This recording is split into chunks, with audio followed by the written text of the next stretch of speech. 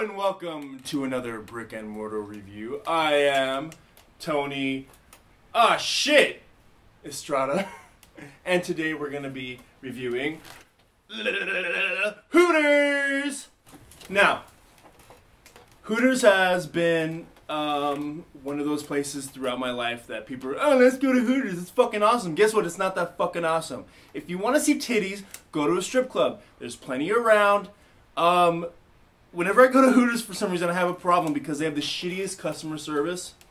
Um, I went there uh, a year ago after I was actually started boycotting the place because the customer service was so bad.